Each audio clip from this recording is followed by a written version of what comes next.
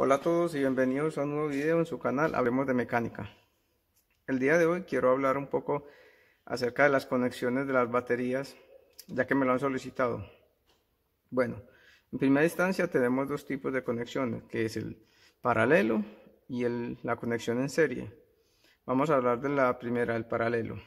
El paralelo nos dice que para hacer una conexión en paralelo necesitamos conectar las baterías siempre en el mismo sentido del borne, o sea, positivo, positivo y positivos, siempre con los positivos y negativos siempre en sí en negativos.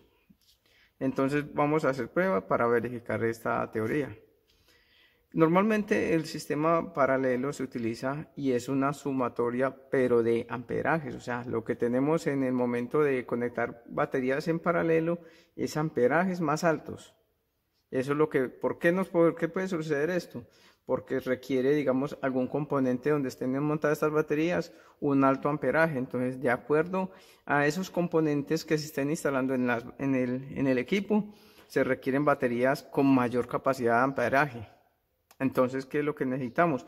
Sumar baterías para alcanzar esos amperajes, independiente de la, del voltaje, porque ahí tendríamos en cuenta que cuando estamos conectando en paralelo, el voltaje siempre va a ser igual, muchachos, para que tengan en cuenta eso. Entonces, ¿cómo sería una conexión en paralelo? Acá la tengo dibujado. Un polo positivo, un polo positivo, positivo con positivo y negativo con negativo. Se pueden hacer así con dos, tres, cuatro baterías, las baterías que se necesiten. Por eso les estaba diciendo previamente de que dependiendo de la necesidad que tengan los componentes donde van a montar las baterías, de amperajes, básicamente, es que se, se requieren la cantidad de baterías. Bien, todos tenemos en cuenta o debemos de saber de que estas son baterías de 12 voltios, 12.5, 12.7. En este caso estas son baterías usadas, las cuales van a tener diferentes voltajes porque ya, ya están desgastadillas. Entonces, ¿qué vamos a hacer? Vamos a hacer una conexión para corroborar toda esta información. Va a utilizar unos bornes improvisados, unos cables improvisados, porque pues no va a haber consumo, no va a haber nada, entonces no tendremos ningún problema para hacer la conexión con cables delgados o como los voy a hacer en este momento, ya que no tengo cables con los bornes para hacer la conexión. Entonces vamos a ver. Recuerden, positivo, positivo, positivo, negativo, negativo y negativo. Ahora bien, vamos a ejecutarlo aquí.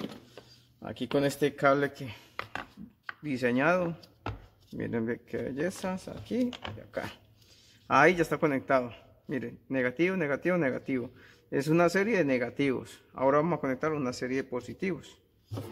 Mediante este. Este que tenemos acá.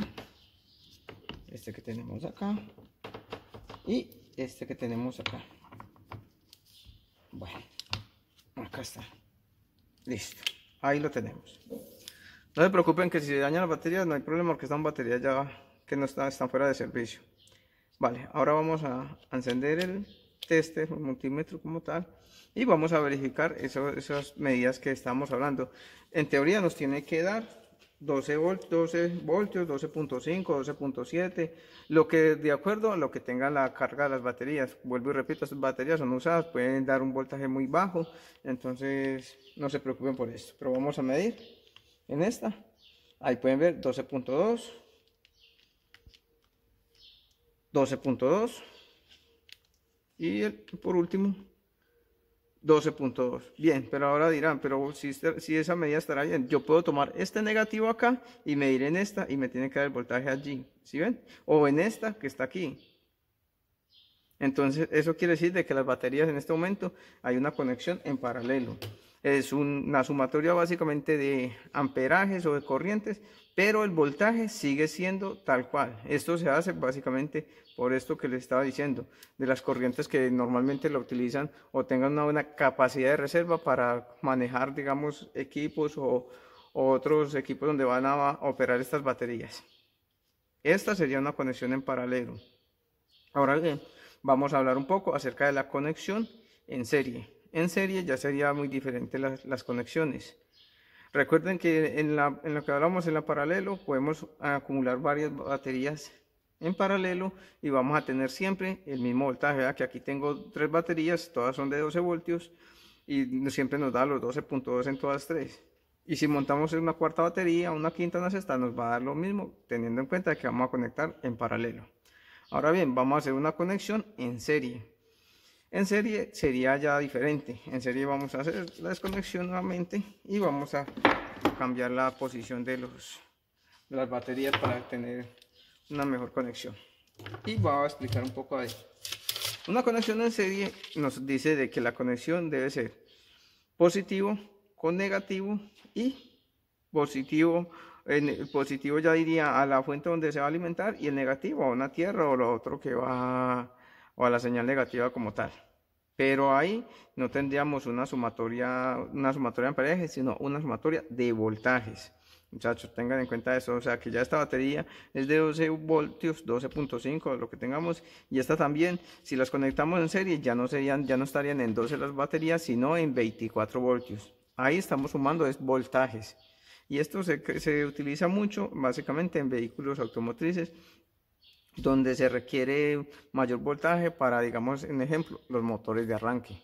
Que los motores de arranque, recuerde que son los que mayor consumo eh, hacen de batería en el momento de un arranque inicial. Entonces necesitan una, una, buena capacidad de voltajes o una buena cantidad de voltajes para poder hacer esas marchas, digámoslo así, de un equipo, digamos, que esté parado en el momento.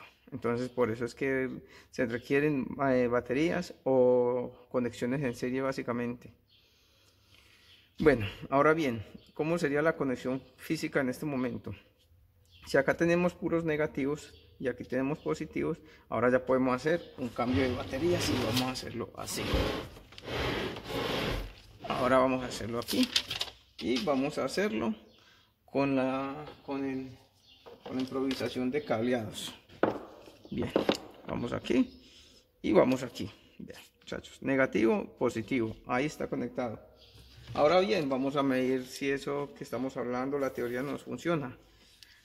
Tenemos el tester y vamos a medir positivo y vamos a ir negativo. Y ahí tenemos la teoría 24.5 eso qué quiere decir muchachos de que tenemos una conexión en serie sumatoria de voltajes estas serían las conexiones en serie pero ojo también podemos encontrar baterías eh, o equipos que tienen digamos 3 4 baterías y, y están en serie y están en 24 voltios porque recuerden que si montamos una tercera batería en serie podríamos, podríamos conectar, digámoslo así, en 36 voltios.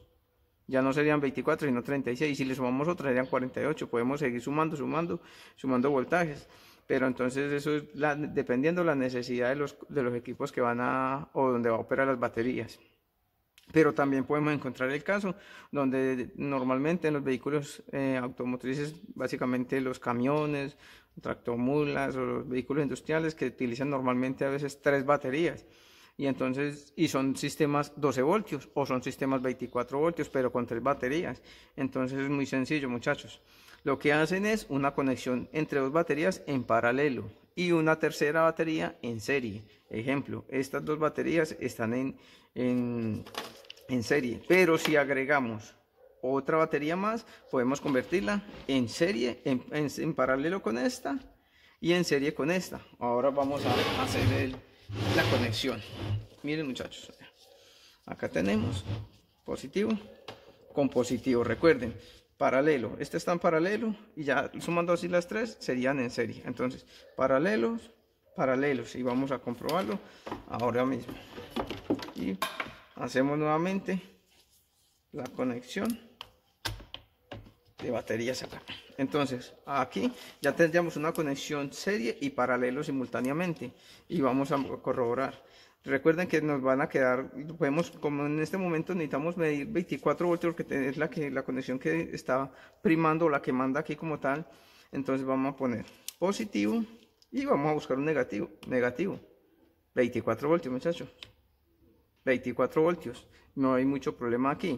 Pero ¿por qué se dan a veces este tipo de conexiones? Este tipo de conexiones a veces se dan primero que todo porque realmente hay componentes que trabajan a 12 voltios, pero también hay, otros componentes que trabajan a 24 voltios porque los podemos encontrar en un mismo, sea bien sea un vehículo o lo que donde estén trabajando o donde estén montadas las baterías.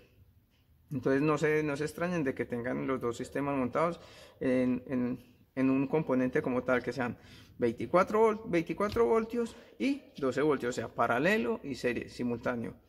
Entonces, espero que este video les sirva para futuros trabajos y, les quede un poquito despejadas las inquietudes si tenían inquietudes en el tema de las conexiones de baterías.